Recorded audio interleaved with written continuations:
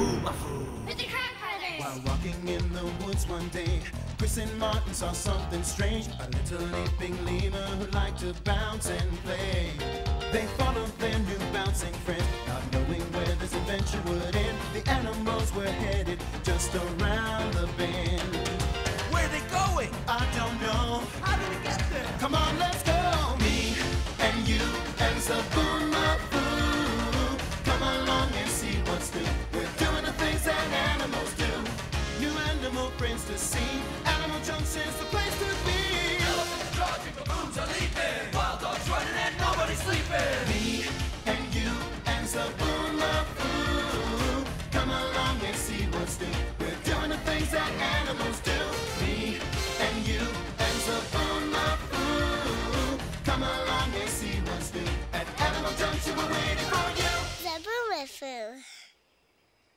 Buddies.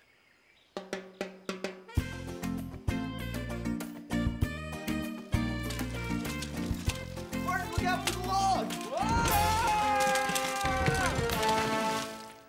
Nice dive, bro. Well, I know where the mud is. Now I just wonder where Zoboo is. Thanks, Chris. Let's call him. Zoboomafoo! Zoboo! Zoboo! Zoboo!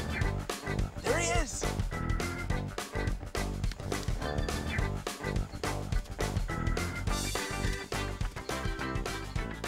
Hey, buddy! How's it going? What are you looking for, Zoboo? You know Zoboo, he's not gonna say anything till he's had his snack. That was a great jump, Zoboo. Way to go. Here, let me scratch you. Oh, right there, huh? Let's see what we have for Zoboo today. This is gonna be huge. One garbanzo bean? That's not enough for Zoboo. I'll be right back. Okay, I just have to find that thing. Where is it now? Aha! All right, this ought to do it. Let's see. Adjustments over here.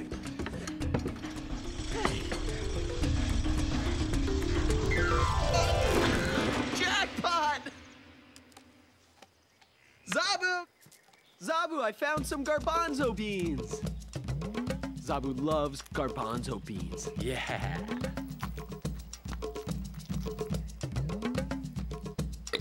Excuse me.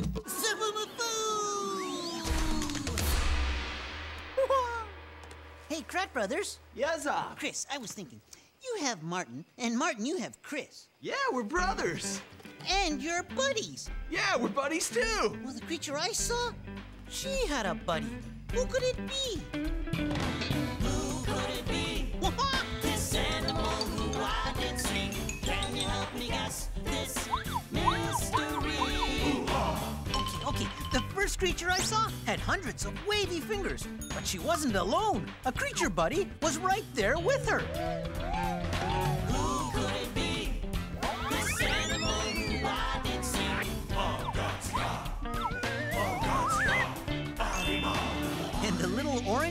Was swimming in the tan one. Who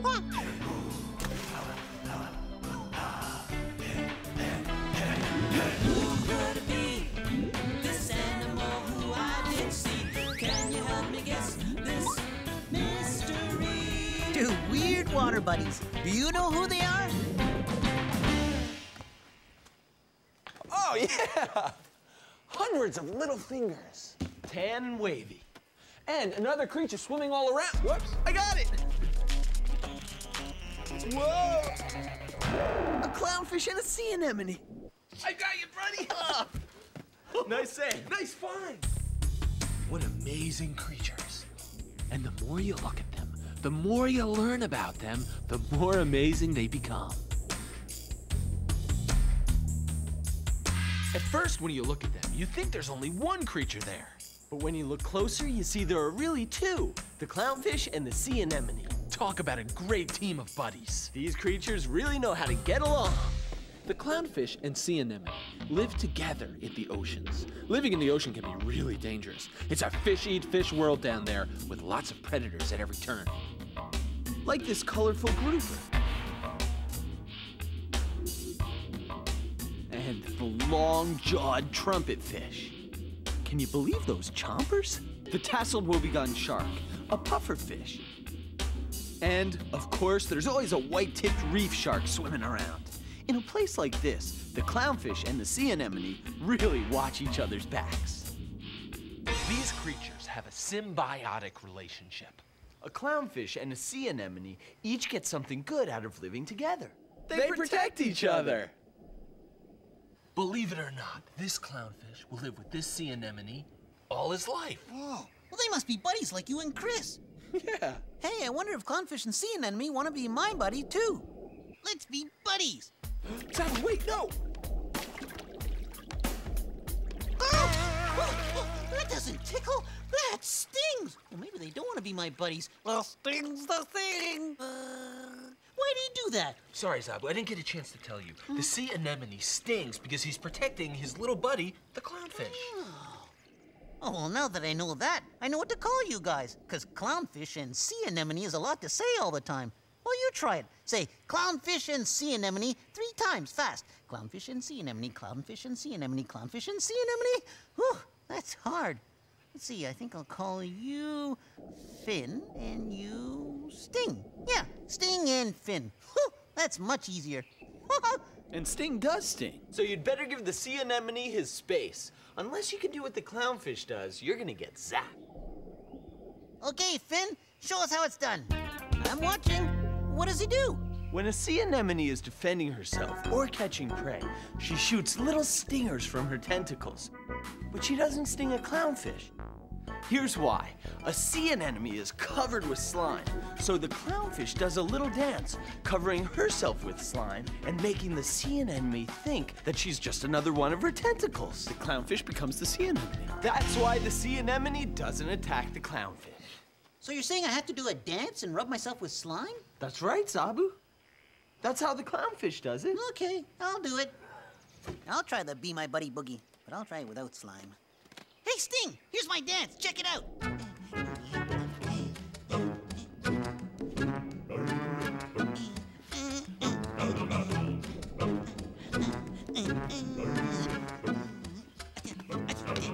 Zoboo, look out!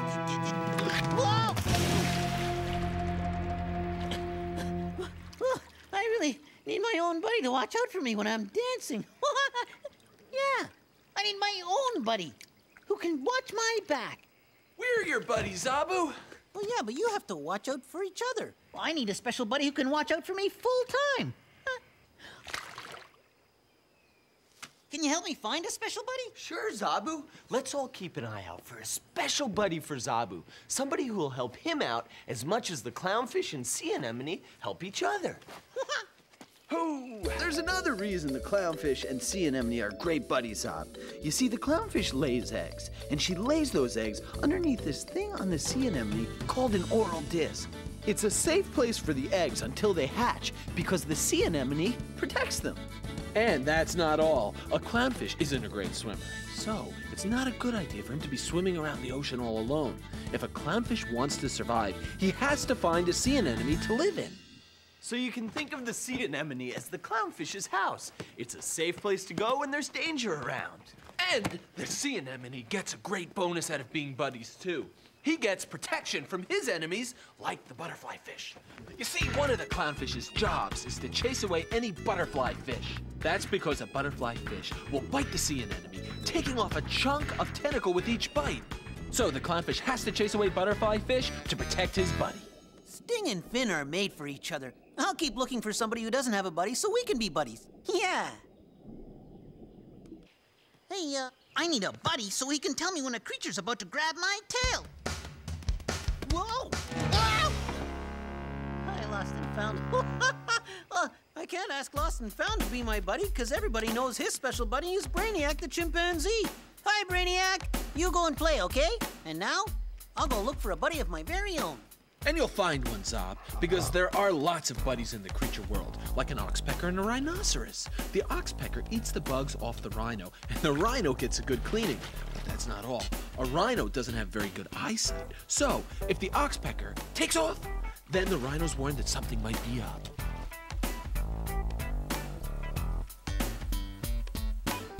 Look who's here! Two baby sloths, and this is about as fast as they like to move. if that's fast, I don't leap. Hey, I remember you sloths. Yeah, I remember what I called them, Martin. I called you slow, and you slower. Perfect names for sloths, Zoboo. Nice to see you again. He dropped his bark. Martin will get it for you. There you go.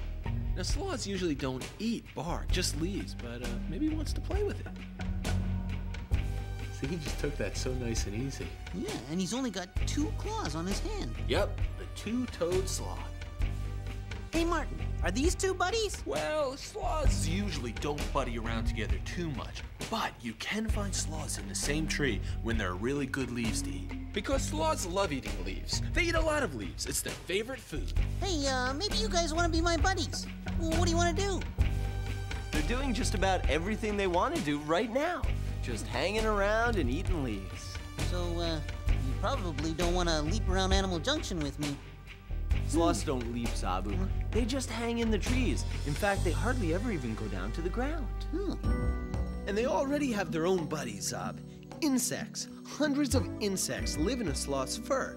It's a safe place to be if you're a bug. But bugs aren't the best buddies to have if you're a sloth. Sloths have a lot of creatures living with them, but these creatures aren't exactly buddies. Sloth beetles live behind their elbows and knees, and sloth moths live inside their fur. And these buddies itch. Tell me about it. Uh, they itch. Oh, God. Oh, really itch. Oh, I know how they feel because I got bugs all over me. Where'd they come from, Zoboo? Well, I don't know. Maybe they think I'm a sloth. They itch like crazy. I wish they'd stop. Shark, where'd you come from? Have you been here all day? I guess you noticed I've got a bug problem. These bugs are bugging me. They itch. Uh, huh? What?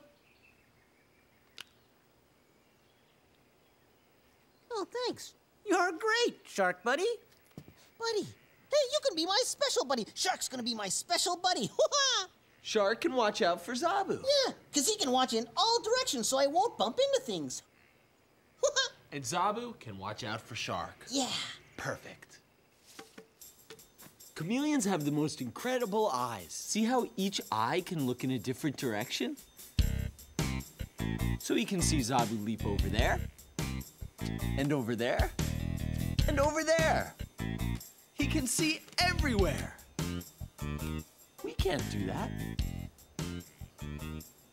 Hard. A sloth can't do that either. See, a sloth can't move their eyes independently like a chameleon can. But she can move her head a full 180 degrees. This lets her see the ground no matter which way she's hanging. We humans can't turn our heads around like that.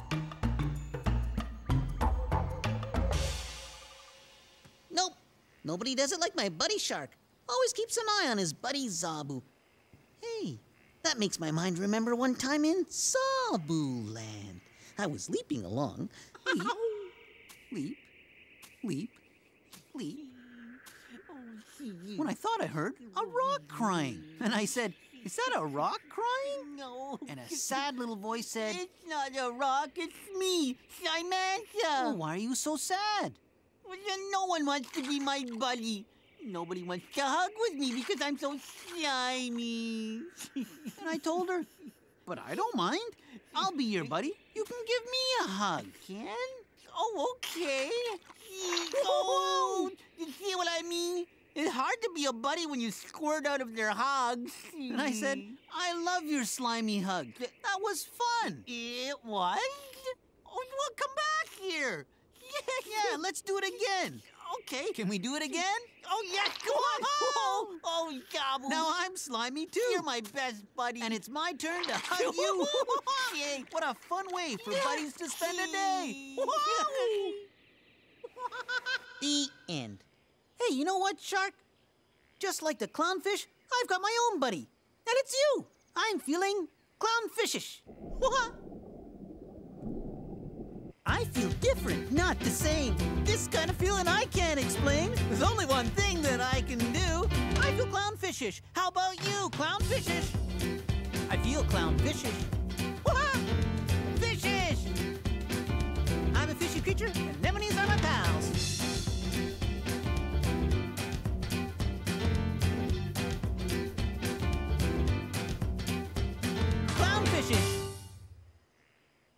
There are lots of buddies in the creature world. And creature buddies always do things together.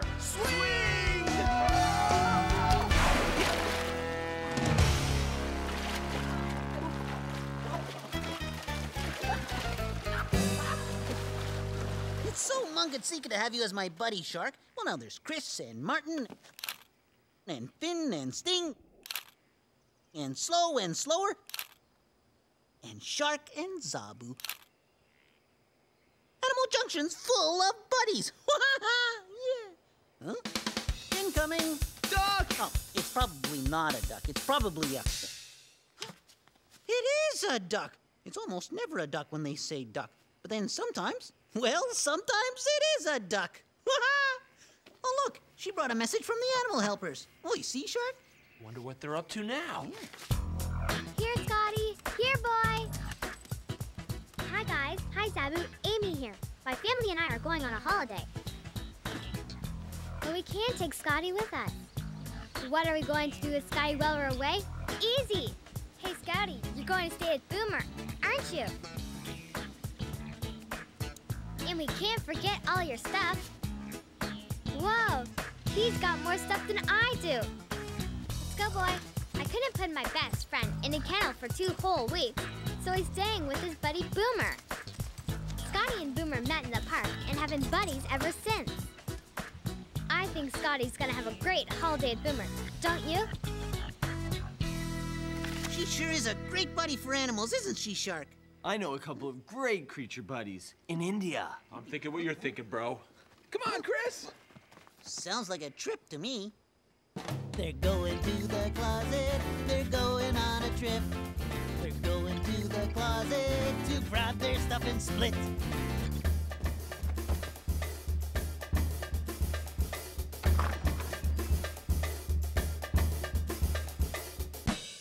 Guess it's safe to go in. Be my guest. No, please, you go first. No, really, bro. After you. You waited too long! Oh, They're going on a cool adventure and they don't know what's in store. Let's go spot some creatures. See you later, Zoboo. Bye, oh, up. Bye, brothers.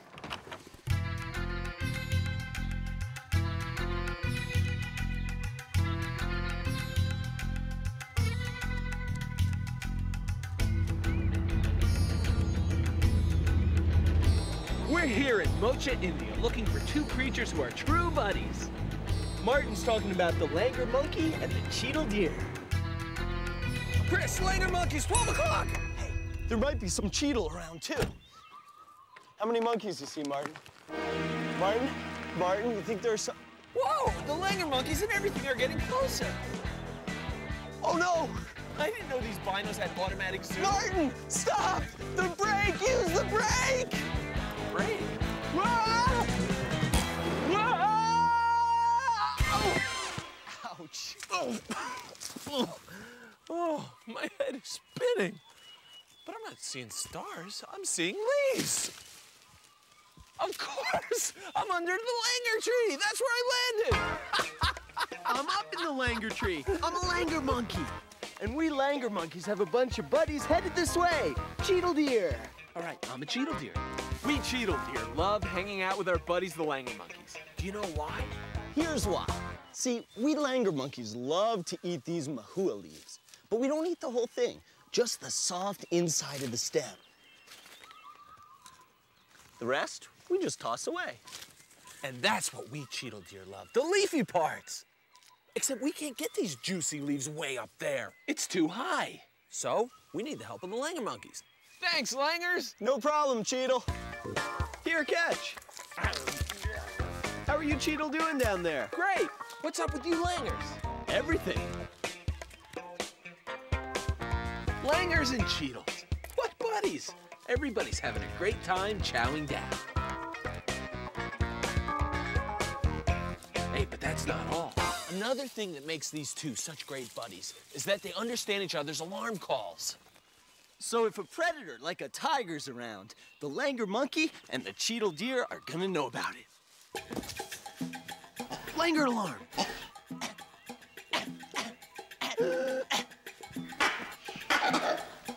Chital alarm. Oh! Chris, a tiger. Wow. Everyone's taking off. We better listen to what they're saying and head back to the Jeep. Hurry up, Chris! I'm hurrying, buddy!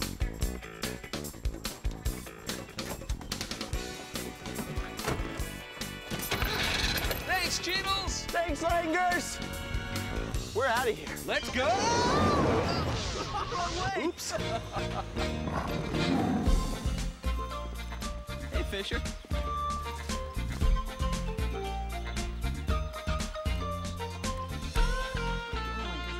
There's so many of you, I gotta count again. One, two, three. I wonder what Zoboo's up to. There's only one way to find out. Let's go. Hey, Zoboo, we're back. Zoboo? Where is that lemur? Hey, Martin, check it out. Muntjac deer, a whole family of them. Welcome to Animal Junction. Yeah! Shark and I have lots of buddies now. Well, Shark likes to watch. He doesn't want to get in the way of these guys' feet. Muntjac deer are one of the smallest deer in the world. This male is full grown, but he only comes up to my knee. That's not very tall for a deer. I mean, a caribou is 25 times heavier and three times taller than a muntjac deer.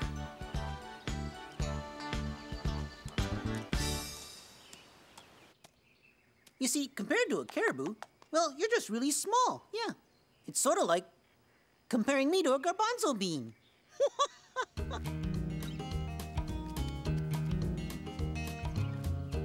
Can you believe how small and slender their legs are? It's a big deer body, a tiny, delicate little legs. Slender legs for fast running. So what do you think a muntjac deer likes to eat? Apples? Muntjac deer are pretty shy. I'll toss it to her. Look at that. She loves it. Oh, that oh, tongue's as long as Archie's nose. Oh, I'd like to see that again. Oh. It's incredible. A muntjac deer's tongue can lick all the way up to her eyeball. Mungatsika, that's a long tongue. Hey, take a close look at a muntjac deer's face. It's pretty amazing. Yeah, it looks like they close their nose when they're sniffing. Try it.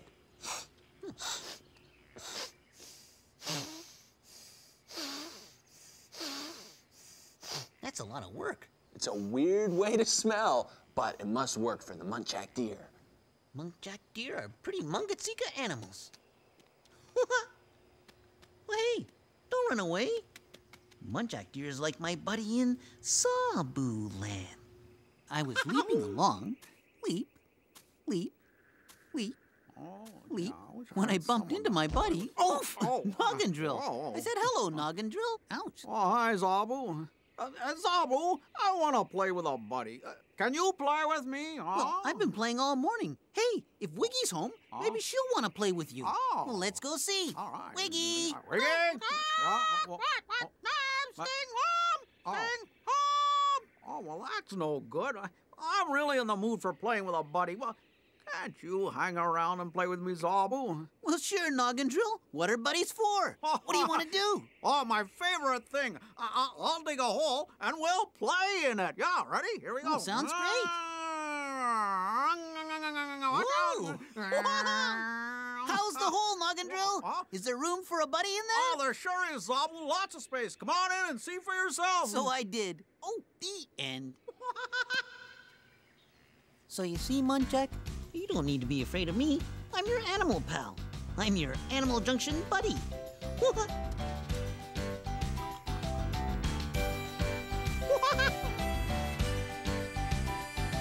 This animal is a friend of mine. From the tip of his nose to his spine behind. All the friends that we met today are special in their own way. We've all got different names, but we're really all the same. Thanks for dropping